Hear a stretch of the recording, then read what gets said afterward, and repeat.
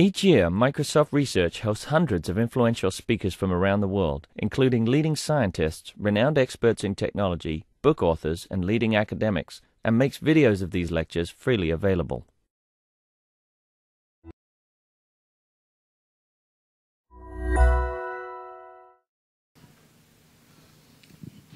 Okay, I guess we can start. So it's our great pleasure to have uh, Zhenhua here today. He's visiting uh, the lab. So Zhenhua has a degree in both economics and computer science, and uh, is now currently final year PhD student at Caltech, where he's advised by Professor Wierman and Professor Low. And uh, his PhD thesis is about uh, well, as you can guess from the title, you know, energy efficiency, you know, IT, in particular, you know, with cloud computing, both across data center and within data center. And uh, his work has been uh, widely recognized by the research community. He's got a couple of best paper award for uh, the work uh, of his PhD. As well as also in the industry settings, he has been uh, collaborating with HP uh, in order to help them developing like an energy efficient data center.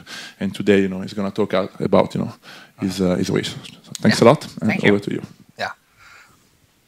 It's, it's really a pleasure to be here, and uh, I really like this, this building. It's, it's very nice, and uh, and also it's it's a one-hour talk. I give a half an hour session uh, last week in, at Imperial, but this time we have the luxury to have one hour, which can can show the work in a little bit depth. So uh, nowadays, energy and sustainability have become one of the most critical issues for our society. While the abundant potential of renewable energy, such like wind and solar, present a, a real opportunity for sustainability, their intermittency and uncertainty is a, a daunting operating challenge. Therefore, for my work, I focus on to develop analytical models and uh, deployable algorithms and eventually go to industry transfer to enable efficient integration of renewable energy into our uh, IT system and further our general power system. So during the talk, okay, can you do me a favor, please? So uh, uh, I, I really hope by the end of the talk you can give me any, any comments you, you have on my talk. Yeah, since this is it's usually very hard to get this kind of comments since people are usually too friendly. Yeah. Okay, yeah, let's start. So, okay, this might not be a good example, but uh, uh, let's Google it. okay, so uh, people are using Google services, and uh, uh, but not everyone knows this costs Google more than one million server. And uh, what does this mean for sustainability? Is the emission of one server is comparable to a car, and together with all the other IT companies, and the total emission of IT is comparable to the airline industry. So, so imagine how many flights we have every day, right? And also as a building block for cloud computing, data centers consume about 2% of the world electricity consumption. Uh, what does that mean? If we aggregate uh, the, all the data centers as a country, and we name it the United Data Centers, and that's why we name countries. And then is electricity consumption on annual basis is comparable to the United Kingdom. And to make it even worse, this part is increasing very fast. It's much faster than total electricity consumption. So that means currently it's 2%, but if we do not do things in the right way, uh, just in 10 years, it will be 5%. So this is very important, and recently Greenpeace have two very interesting reports. One is how dirty is your data, one is how clean is your, your cloud, to call for attention, but more importantly, actions on this important area. So for my own research, yeah, okay, as a researcher in networking and system, that's why I'm so interested in, in this group. Uh, back to my master study in Tsinghua University, I, am mostly focused on, on router architecture, on, on protocol design. So there, and this is my home area. But during the past five years, I saw a new dimension emerging, which is energy accessibility almost all the traditional area, now they care about energy, they care about power, they even care about the climate change and the ecosystem. Okay, this can be divided into two parts. One is to make our RT system more sustainable. One is to use IT to improve the sustainability of our society. So my work is, is going along both lines. For this one, I have the geographical load balancing, which I will discuss a little bit in this talk. And I also work with HP for three years to design and implement the industry first net zero energy data center. It's got the Computer World Laureate last year. And for the second one, I'm only recently I'm most focused on demand response. It's an interdisciplinary challenge for both engineering and economics. Okay, here, okay, as you, you might say, this, this is a keyword maybe for my application. So SIGMETRICS is my home conference. It's, it's parallel to SIGCOMM, but focus more on the, the performance evaluation, more theoretical side. SIGCOMM nowadays is really hard to see any formulation, any mathematics there. But okay, SIGMETRICS is a conference uh, focus a little bit more on the theory side. Okay, I will start with uh, the simple IT part. As we see, this is an important area, so we have all the huge pushes from both academia and industry. So as a result, the power usage effectiveness of or PUE, which is defined as a power into the building divided by the power used by IT system which is used to do the real work, is greatly reduced during the past decade. It's reduced from more than 3 to just 1.1 for the state-of-art data center. What does that mean? For 3, it means for each kilowatt-hour power used by our server, there are 2 kilowatt-hours wasted on the cooling and power distribution. But 1.1 means we have 90% utilization. Right? This is very good, but, uh, but what's missing there? Right? So the first one is a lower power cost, lower PUE does not necessarily mean lower energy consumption. Right? If we make this IT system worse, right, we can actually reduce this one. Uh, unfortunately, this is uh, one of the tricks all the IT companies are playing now. What they do is they remove, they, they actually move the cooling need from the chiller to the fans on the server. Once it's in the server, like the laptop, right, you cannot, it's really hard to distinguish between the power from the fan or the power from the, the, the IT system. Therefore, by doing that, they can reduce PUE, but it doesn't reduce their, their energy consumption. More importantly, is that even a low energy consumption does not necessarily mean sustainability because we need to care about how much power is from renewable sources. This is also a very important problem nowadays because more and more data centers, they are built at a location with very cheap electricity price, but at the same time, very dirty. So for my research, I focus on improve the sustainability to make data centers more sustainable. And the goal here to power data centers with renewable energy. Okay, for data center here on the demand side, we have the IT demand we need to finish, and then we have other overhead. On the supply side, we have local renewable generation, such like the Apple new data center in uh, North Carolina, I guess. It's, I remember, if my memory is correct. So there, they have a 20 megawatt PV panel, which is, is a huge area. And also, it can also use the power from the electricity grid or power grid with possibly time varying electricity price. Okay. Demand and supply, they are both dynamic and uncertain, and they do not necessarily match each other. Right? This is one example of an already very optimized data center in the power consumption. Okay, here the red curve is the PV generation, is measured on top of building, and this is IT power with IT capacity constraint.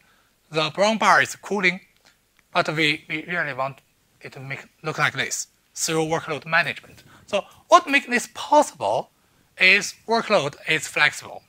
This flexibility is twofold. The first one is the flexibility in time.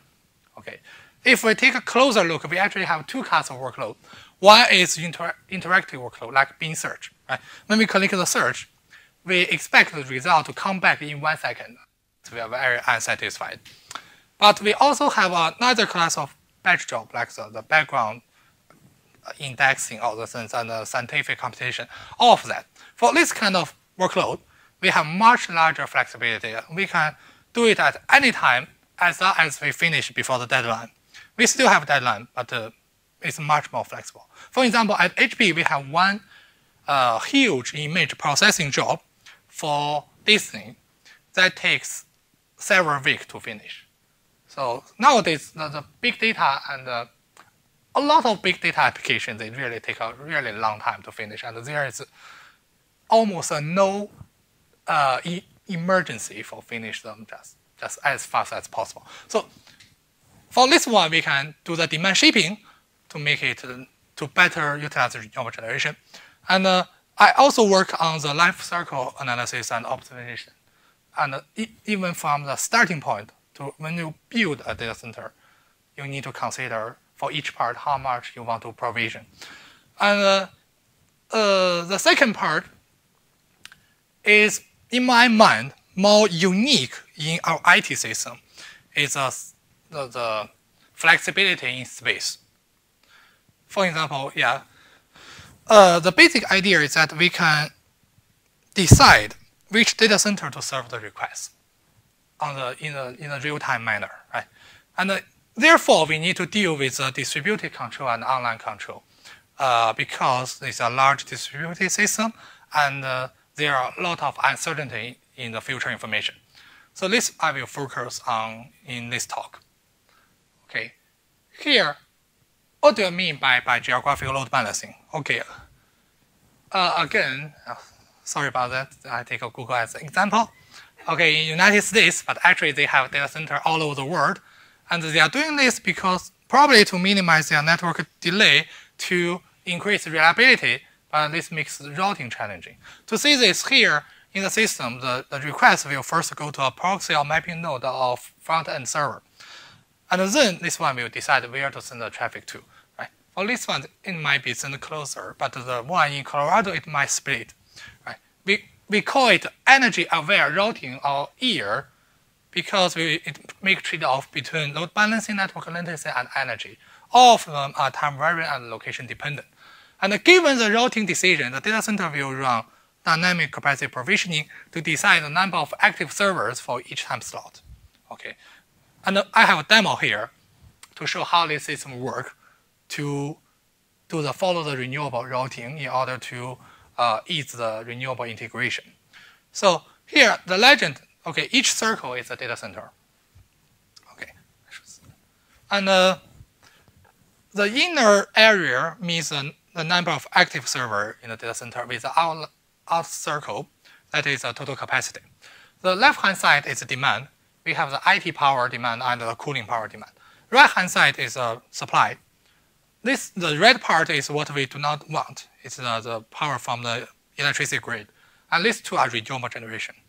Okay, for each dot is a, a source. We have one source per each state. And uh, if there is a line between the, the source and the data center, there is traffic there. The thicker the line is, the more traffic we have. Okay. Then we start. Uh, we can see as time goes by, uh, the, the proxy will decide the, the data center to send, and the data center will, will change, adapt its size uh, according to the coming traffic and also the renewable generation. And, and another thing to, to notice is that we do not send the traffic from the east coast to west coast. It's too far away. But for the middle part, we, we might split uh, according to the renewable generation. Okay, by doing this, we can increase the renewable utilization. Uh, but how to make this? We need a deployable and distributed control with theoretical guarantee for this kind of follow the renewable routing. Okay. Uh, here, I think people all agree with deployable. Okay what I want to convey is that we also need some theoretical guarantee. This is important if uh, when uh, when something goes wrong.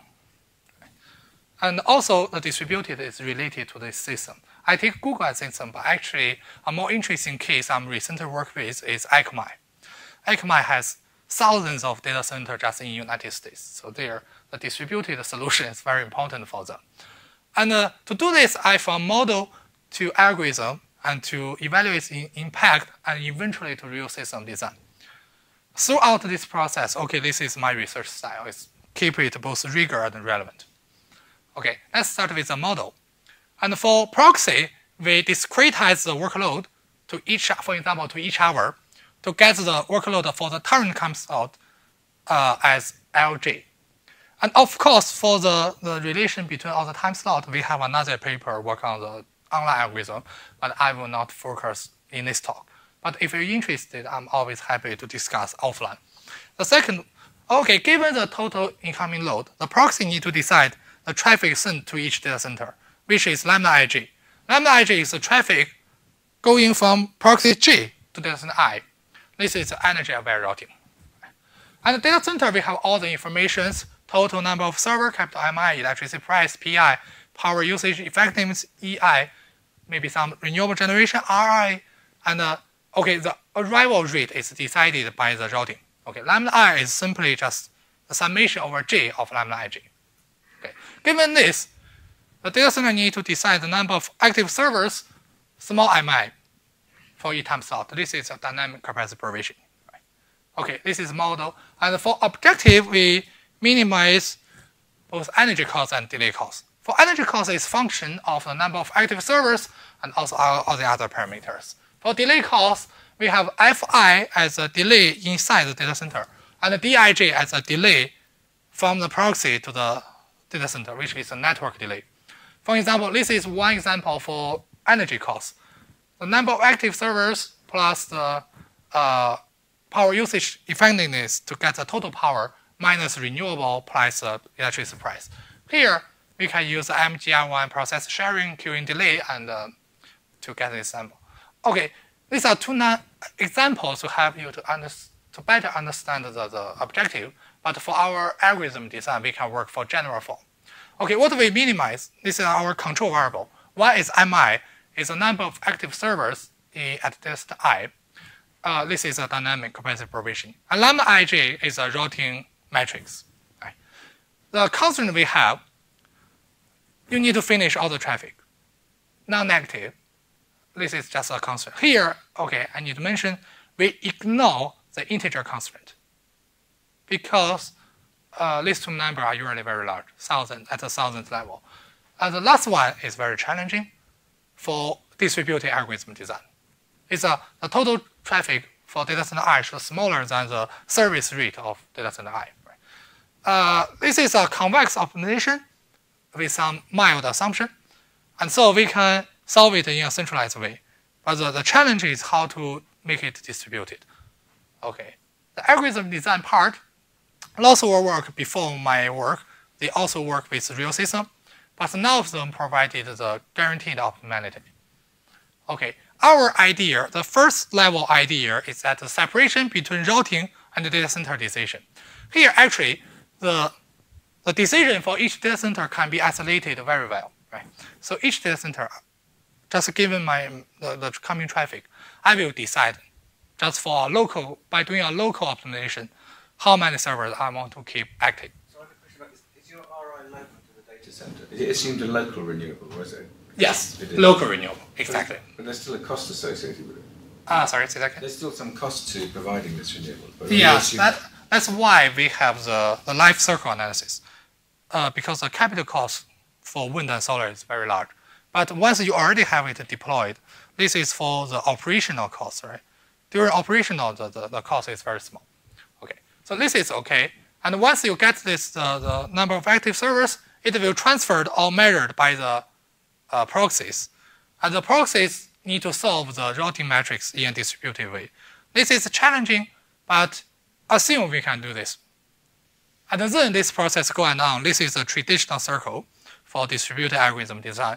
Then we can prove there is no performance loss from this separation in the sense of it still convert to the optimal solution. Okay.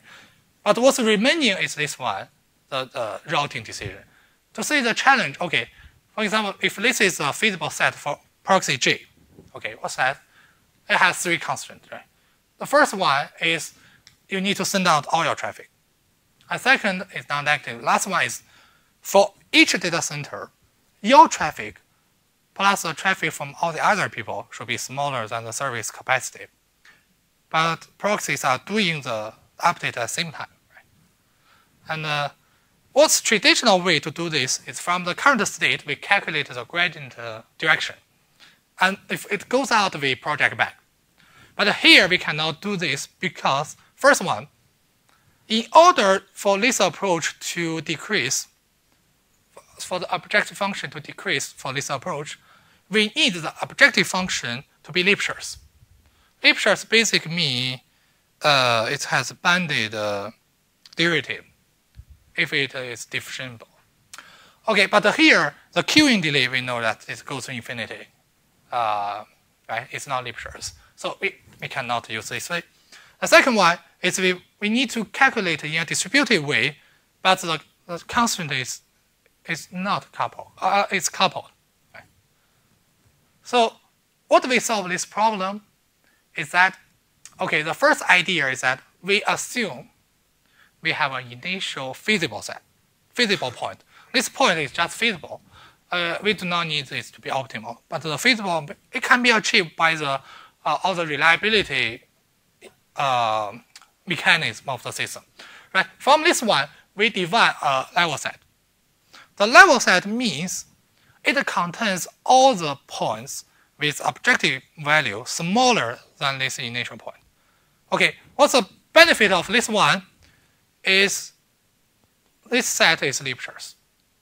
So if we still do the gradient and project back to this one, then we can show it will make the function to decrease. And once it decreases, it's keeping in this feasible set. So it goes on and we can do that. Okay, we solve the first challenge. But the second one is that when, when I draw like this, I basically mean only proxy J move, right? You assume all the other people don't do make any update. But that's not good for convergence, right? So how to make this? It turns out we have a very simple solution. That is, you just scale it down by the number of uh, active proxies. And by doing this, we can prove, although each one is updated at the same time, but aggregate them together, we still keeping this feasible set and the objective function decrease fast enough. Okay, and here this proof is very general. We just need the function to be convex, no other assumption. And uh, given this, we can prove uh, for the sequence generated by our algorithm, every limiting point is optimal given the step size is small enough. Okay, and uh, okay, let's let's have a little bit break here. And uh, I I I guess maybe some of you have already seen this figure before, and this is from PhD uh, Cosm Cosmic. And uh, okay, what's this? The outer circle is a human knowledge. Okay, this is what we get after elementary school, and then we go on, and uh, then we go to the college. Now something happened here, is we have a major, which might not be a good thing, but uh, that's the reality. And then you keep going around that direction for eventually the PhD, right? And uh, then you, you make some breakthrough, right? You get your PhD degree. And uh, okay, if this is the case, I should say for the theoretical side, what I just described the, the distributed algorithm design is actually one of my contributions here. Since before that, I, I didn't see any work can do the distributed algorithm design without the Lipschitz condition. What they do is just assume the function is Lipschitz. Okay, but back to this one, the contribution is still negligible. So that's why we, we, we need to go on. Nowadays, I work with uh, localized control. If you know, Professor John Doyle at Caltech is uh, the big name in control community. Okay, now we come back to the technical part. And the other properties we have for, for it to be deployable, one is the convergence rate, right? And uh, here is a uh, the conversion to an optimal solution. For the algorithm we designed three years ago, it converged already at an exponential rate. Uh, we have a new algorithm this year for transactional networking, and uh, this can convert much faster. The reason behind this is that we do not follow the traditional approach. Since for, for optimization, what we can achieve optimality is when the KKT condition is satisfied, right? So for this algorithm, we directly go to the KKT condition to make it satisfied for each time step as much as possible.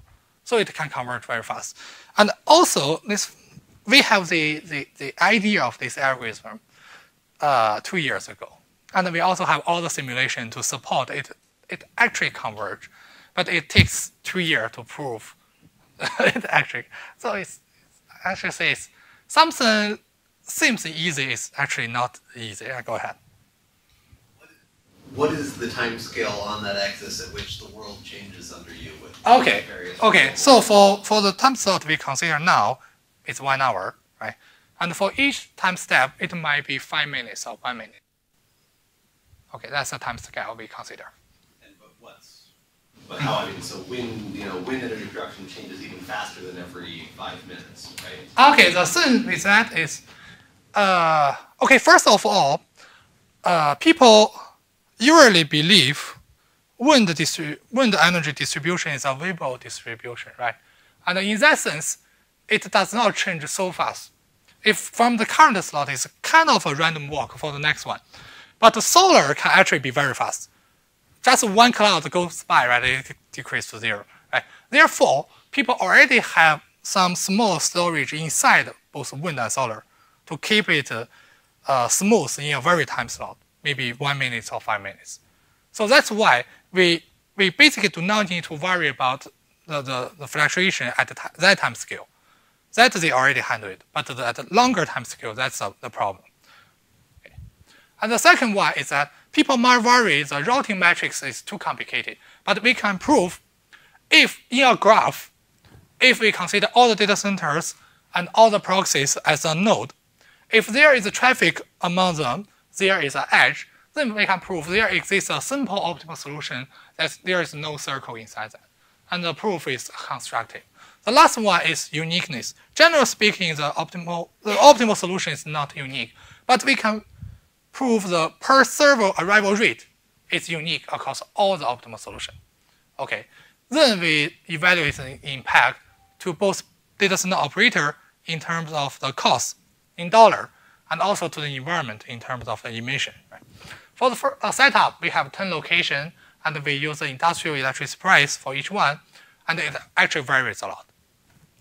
For workload, we have one proxy per each state and we use a workload from Hotmail and uh, scale it by the uh, population with internet access uh, within each state.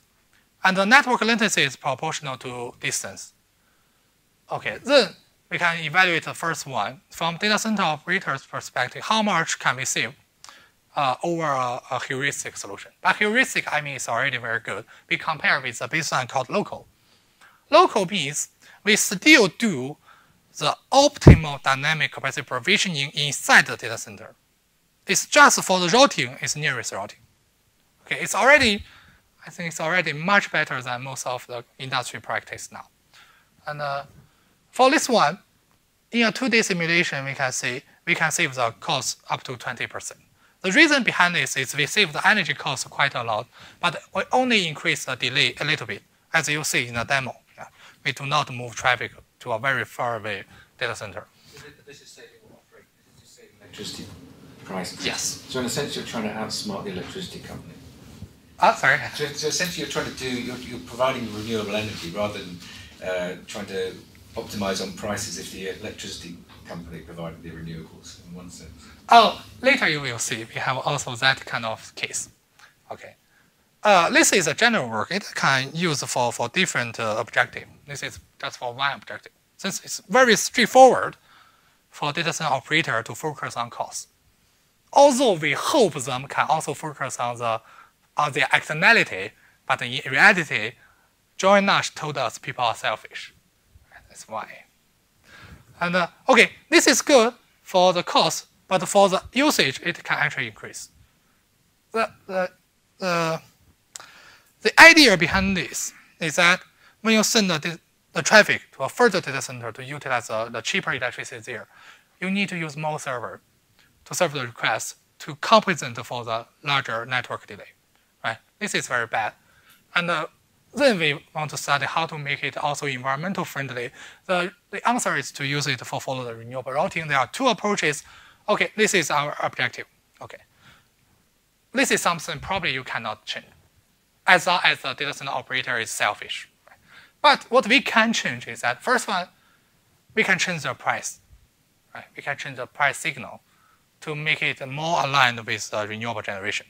The second one, we saw nowadays more and more data center already have a local renewable integration. And uh, okay, for the first one, okay, this simulation we have the data center this is a renewable generation on east coast and west coast of the United States. And this is uh, the time difference there. Right? And also for the servers, the act, number of active servers uh, under static pricing as a current practice look like this, also some uh, time difference. And if we can do dynamic pricing, have the form of kind of carbon tax, then we can show it actually can enable or motivate this kind of the follow the renewable to send the traffic to the data center with more renewable. For the second one, we focus on the question of the local renewable capacity required to reduce uh, the, the, or the dirty energy usage by a significant amount. This is your part of your question. This, since this uh, capacity, the, the, capital cost is very huge. And uh, okay, this is a wind and solar capacity. When it equal to one, it means the average generation equal to the average usage, average demand. If you just do local, it's very huge. It's, it's not feasible. If you can do geographical load balancing with even low electricity price, cheap electricity price, we can still save a lot. And we can do with high energy price, such like the India, right? We know that the Indian electricity price is very high. Then we can save further. Okay. So for this one, what we have is that it is good for data center operator because it can reduce the operational costs. Uh, we have the distributed algorithm, but we also have an online algorithm design. And it can also be good for the society to, to ease the renewable integration if we can provide the right incentive for them to do the follow the renewable routing. Okay, then I go to the industrial implementation. Okay, the reason after behind this is that after my second year, I already have the SIGMETRICS paper and uh, another best paper award. Then I go to my advisor. Oh, sorry, I went to my advisor to say I need to go to the industry to, to make a real impact. Right? Then from then on, it's already three years. During summer, I work full time with HP, and during normal time, I work part time. And we actually work on the implementation of this one. And what we have, we realize first is that for the routing part, although it's, it's not easy in the theory part, but it actually we have already a lot of techniques can incorporate this very easily. For example, Google has a global workload management. When I interned with Google in 2012, I can have the access to the data, to the code base of this one. And uh, it is very easy to in, incorporate this one into their current uh, routing. So this part is okay. The data center part, actually, this is very hard for industry. So what we do now is we leave all the servers on all the time. So there is an article last year in New York Times to criticize the data center just has a very low utilization. In that article, they claim the average utilization is only 10 to 15 percent. Why we have such a low utilization is we do not turn off or to sleep all the end user server. We just keep them on. That's the reality. So I work with HP for the data center. For data center, we have three parts, IT, cooling, and uh, power, right? These three are, uh, uh, in, uh, uh, uh, they have impact on each other, right? And all the information are gathered by our capacity and workload planner to get the schedule to minimize the environmental impact, to minimize energy costs, and to still meet, but still meet the service level agreement of the, the workload. Okay, this is a system architecture. Okay, this is more like a SIGCOMM talk. Yeah, and uh, we have we predict all the information, and we get all the parameter and the service operational goals to get our workload schedule and the resource provision plan for our runtime workload manager. For this one, we have the both the model and the control algorithm. It can be local, just for one data center, and it can be global for the geographic load balancing. It doesn't matter, just depends on how you use it for. Uh, for this one, it takes a long time to finish because here we work on the co-location of different kind of workload on the same server. We do the live migration of virtual machine. We also do the cooling optimization, and also we have the uh, reactive control since we have the prediction error here. So I have a demo here for the HP data center, what we are doing now. Uh, okay, ignore the lower part, it's just a statistic. And here, the central part is IT system. I show three physical server, but actually we have many more. When it is green, it means active. All the brown boxes on the server are virtual machine. This is a very powerful server. It has 24 CPU cores just for one server. And uh, this is a power part. We have the on top renewable generation, and we also use the power grid. There is a switch among these two. And for cooling, we can use outside air cooling, and we can use a traditional chiller cooling. This is the time of the day and the outside air temperature. Okay. Now let's start.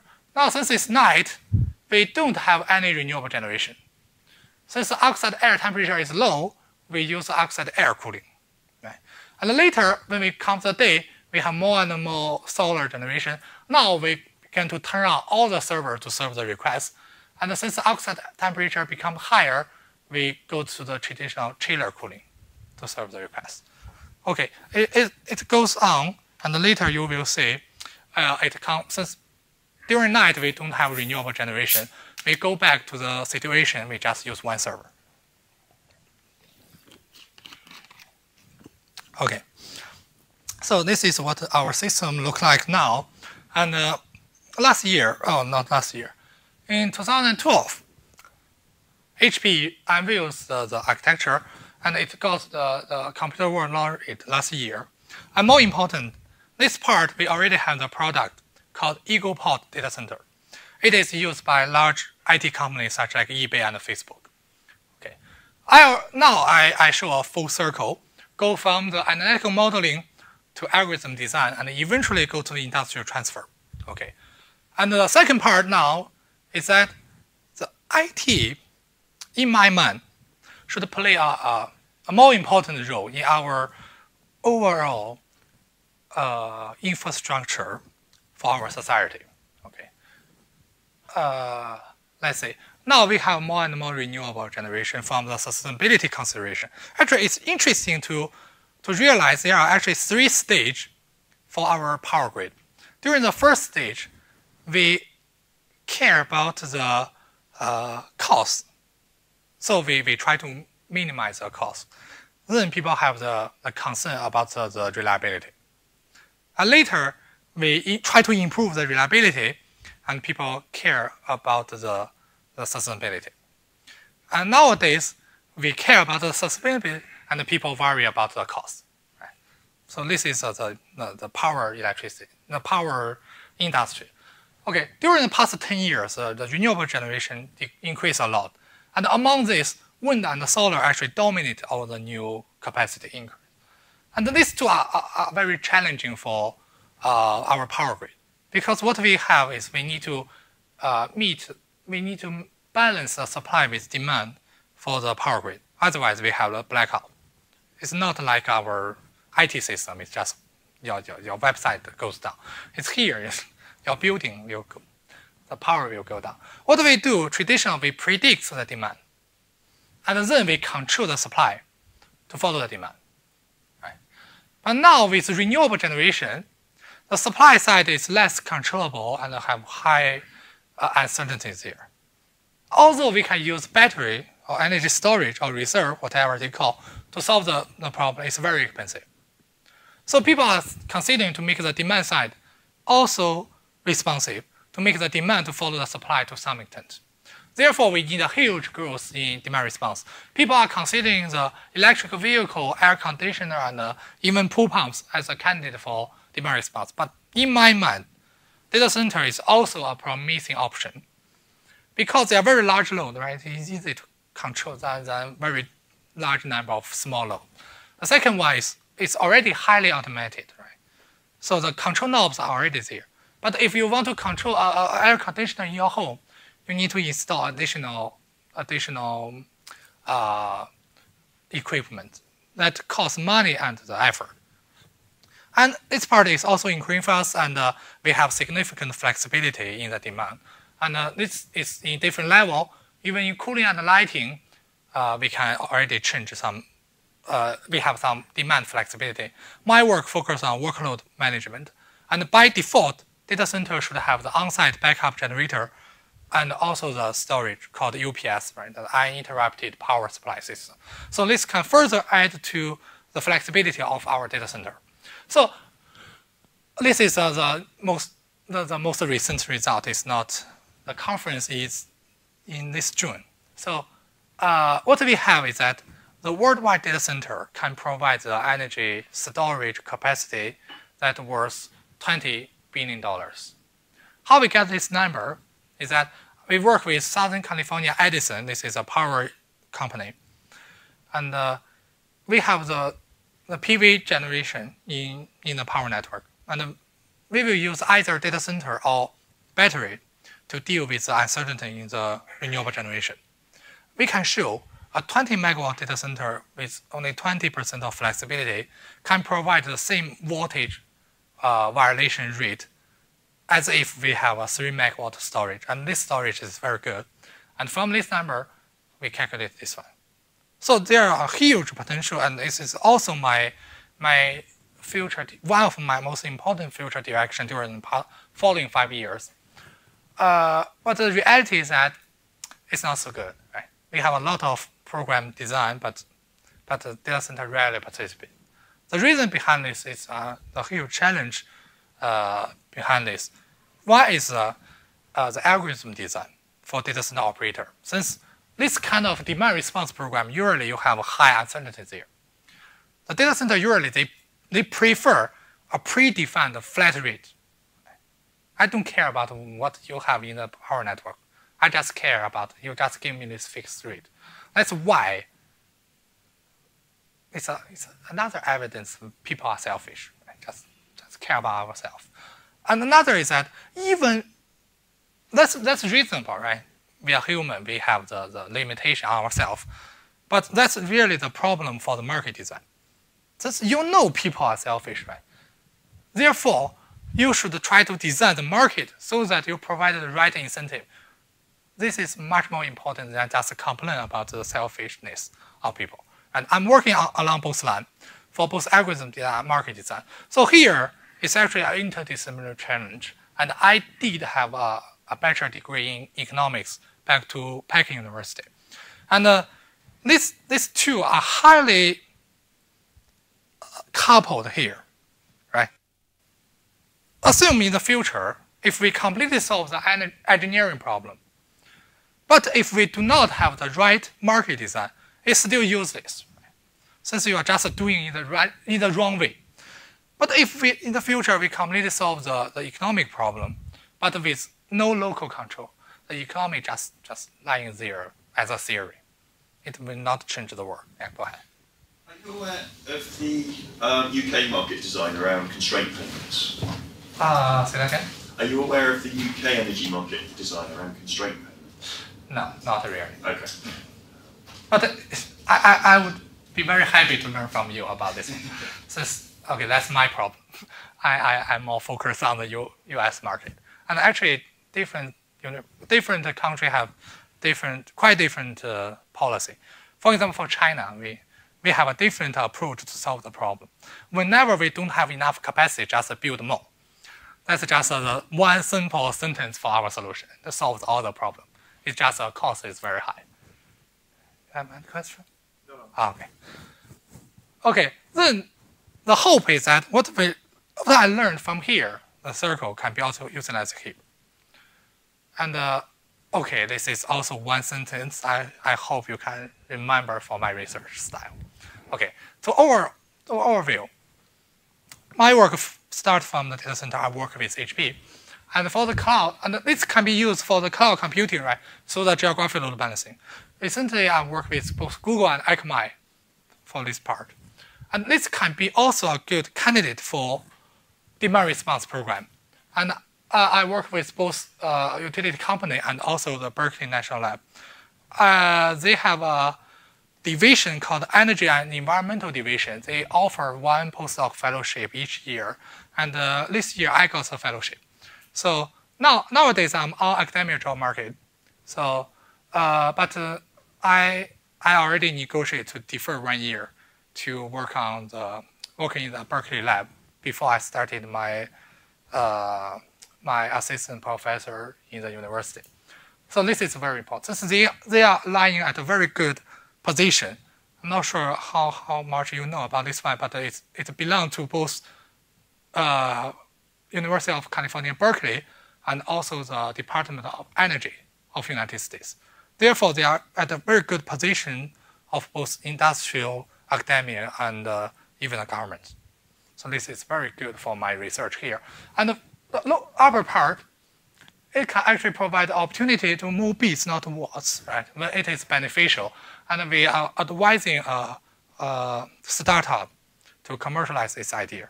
And the cloud can be a very good platform for our smart grid operation from the, the, the measuring, sensing, and to communication to decision making.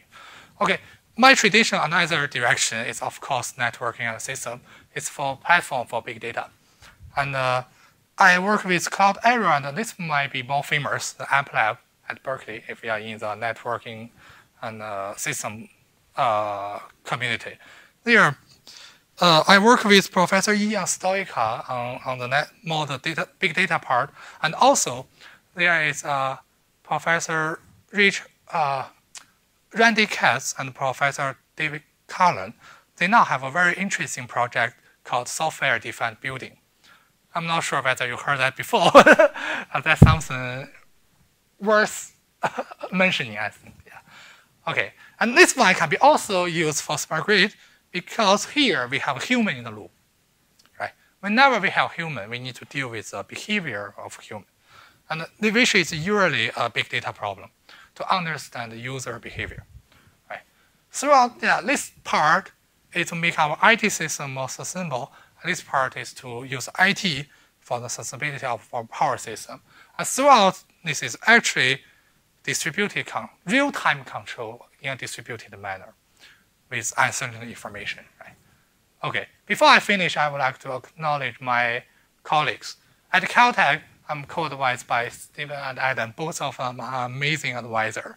I'm close to finish, but at, uh, uh, the, although five years is, already much a little bit longer than the UK system, but I I still hope I can learn more from them. It's, it's, it's an amazing experience from them. And also I work with HP guys and uh, people all over the world. Okay, okay, I will stop here. And uh, if you have any questions, let me know. Yeah, thank you.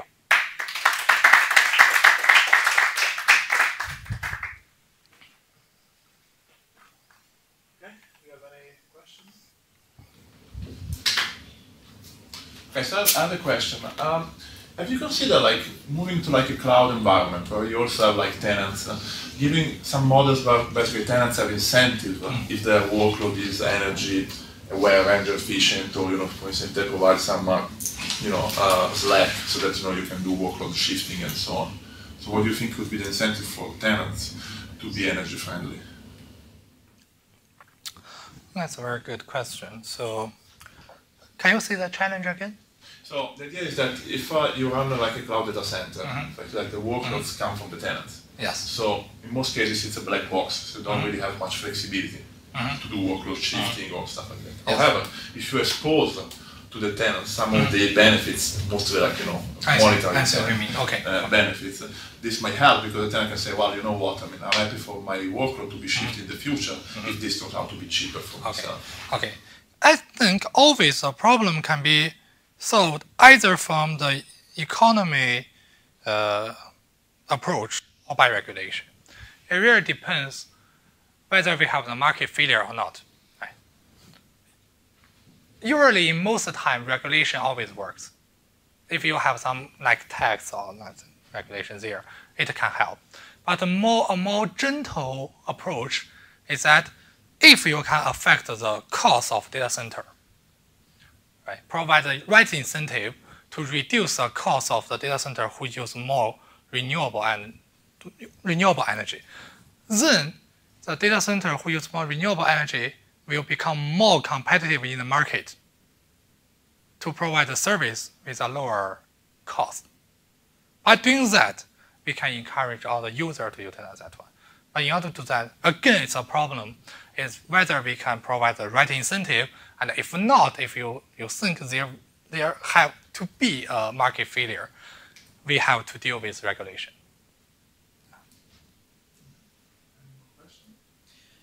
Uh, did you do something to try to uh, have a robust solution to your optimization problem? Yes, we do have, but not here.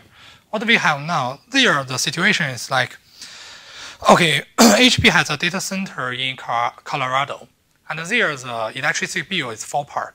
The first one is a fixed cost, very small. The second one is your usage charging.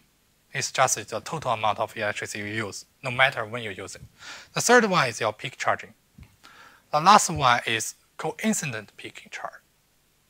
What does that mean is by the end of the charging period, for example, the end of the month, at that time, the, the utility company will pick one hour and charge you a very high rate.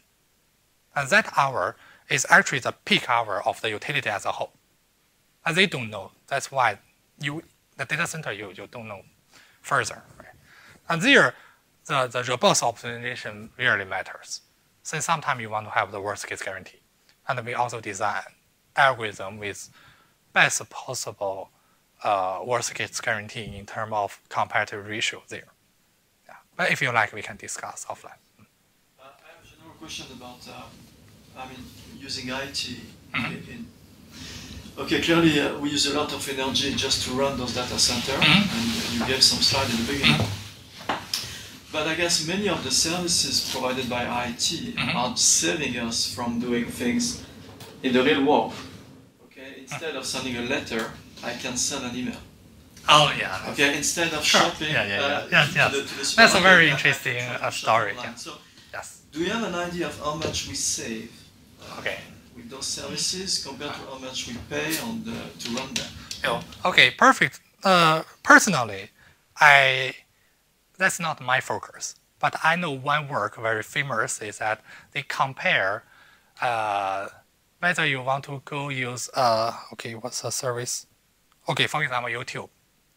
Whether you want to transform the, the video from YouTube or from FedEx. Uh, they compare with this cost. And we, the, okay, the, the result again, as you can expect, is it depends. it really depends how efficient is our network. Yeah, and uh, it's also a pity that the current uh, communication network router, that is my home area, is is not power proportional. Yeah, that's also a big problem. And there in that network committee, uh, it's it's a big problem for, for them. Even the just the, the networking energy consumption to make it more power proportional nowadays is a big challenge. Yeah, like Cisco, nowadays Huawei, right? They are, they are all working on along that line, but it's not so easy. The reason is that the if you switch on and off the the line card, eh, yeah, they, they don't want to do that traditionally.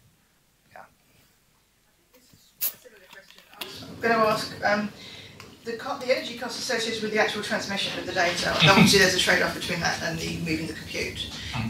Is that important?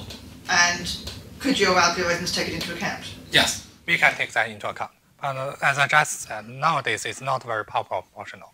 So the the changing in, in, network communication power is So what you're saying is that, sorry, do I understand that the, the cost of the, tr- of the network communications is not dependent on how much data you're transferring? uh, the power, I should say. The cost is usually dominated by the bandwidth cost, right? The Yeah. Yes. But if, actually if we consider bandwidth cost in the optimization problem, we can save even more. Since we can balance just to change your to, to make your your your bandwidth more flat? That can give a further benefit. But in this work, I just use energy as an example to show the benefit. But actually, you can imagine as long as you have more flexibility, you have you have the ability to to do the routing in a more flexible way, you can always benefit from given your different objective.